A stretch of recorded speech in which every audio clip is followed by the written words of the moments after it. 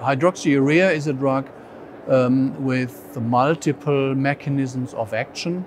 Um, one would be the induction of hemoglobin F, um, which would help um, the red cells not to sickle so readily when they become deoxygenated.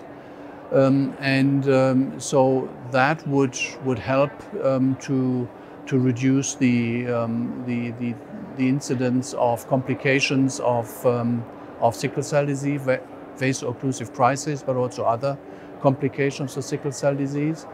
Um, the other mechanism of action of hydroxyurea is believed to affect the, um, the adherence of, of cells uh, to the endothelium of blood vessels.